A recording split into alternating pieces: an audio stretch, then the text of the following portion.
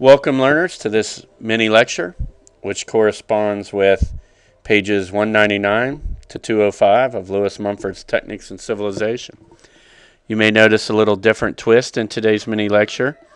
There is Beethoven music playing in the background, and that is because uh, so far, even though we've painted a pretty bleak picture of life during the Paleotechnic phase, which was a reality for millions of workers in the industrialized nations, we will now take a look at some of the cultural giants that this era produced.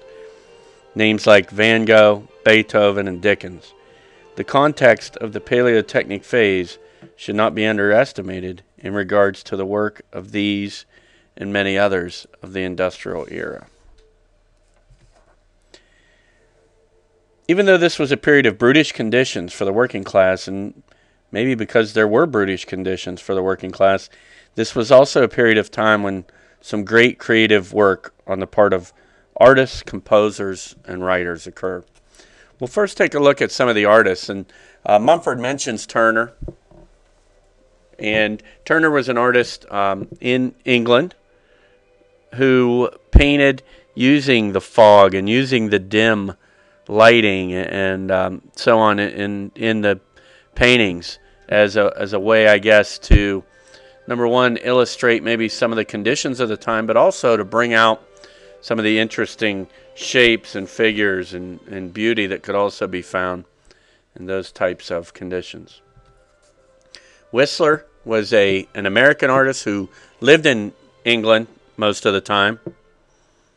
Uh, here is a painting of an industrial uh, worker who worked in a lime burning factory, and you can see there again the kind of the dismal light, the lack of light, the lack of brightness in this painting.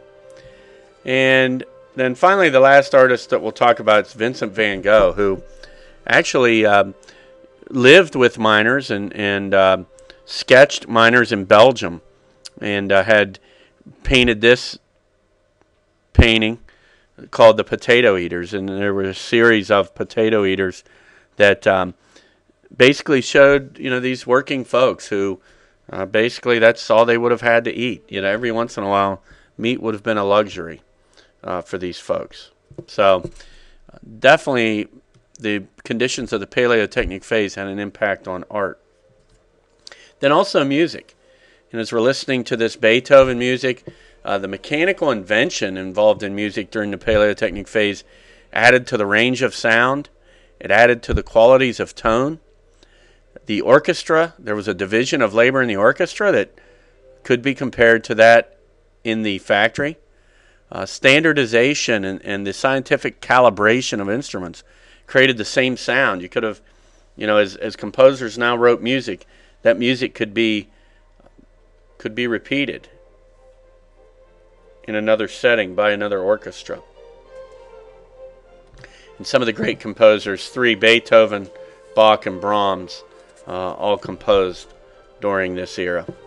And then finally, as far as writers go, Charles Dickens was the great writer of the Paleotechnic phase and actually had had experience working in a, in a boot blacking factory and saw up close and personal the poor conditions that workers uh, had to live in, had to work in, and had to survive in. He wrote novels that condemned the bad conditions that faced the poor during the times and really had a belief that the poor was the poor uh, were bearing the brunt of the of the cost for progress and for industrialization. Uh, David Copperfield was kind of an autobiographical novel of, of Charles Dickens' experiences. And then Hard Times, another Charles Dickens novel, focused on the divide between the bourgeoisie and the proletariat, or the owners, and the working class. As a, in a summary, you know, the conditions of the Paleotechnic phase provided the context for what became a rich collection of music, art, and writing. Also, remember to complete the activity and the essay question corresponding with this mini lecture.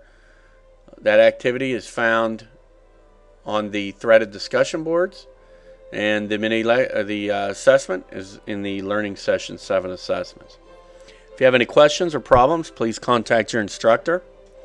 And thank you for listening and watching this mini lecture.